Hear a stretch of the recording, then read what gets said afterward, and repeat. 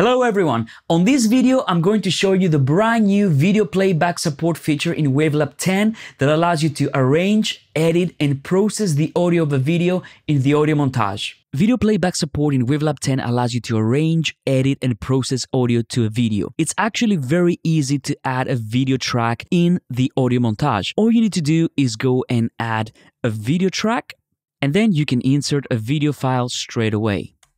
Now, of course, Wavelab not only inserts the video file, but it also inserts the audio file. If the sample rate of the included audio file doesn't match the sample rate of your montage, you can create a resampled copy of the audio. So in Wavelab 10, we have a dedicated video window, and of course, this displays our video file. And of course, like every window in Wavelab, we can just undock it and place it wherever we want in our display, even on a second monitor. Or we can just dock it where it was before. Now, if you're editing audio to video, you will find the next option extremely useful, and this is the Video Follows Edit Mode option. So when you activate this, you can edit audio clips while getting visual feedback in the video window, which means that if, for example, I have a sound effect like I have right here, and I want to drop it exactly in the correct frame, then I can just drag it and as you can see I get visual feedback of where this audio file is placed in reference to the video file. So I can go like this and I can say I want to drop it exactly on 14 seconds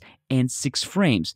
Or maybe I want to drop this file at 10 seconds and 2 frames. And this can make your edits extremely precise. The video playback support in Wavelab 10 will be extremely useful for users that edit audio to video, YouTubers, and creatives.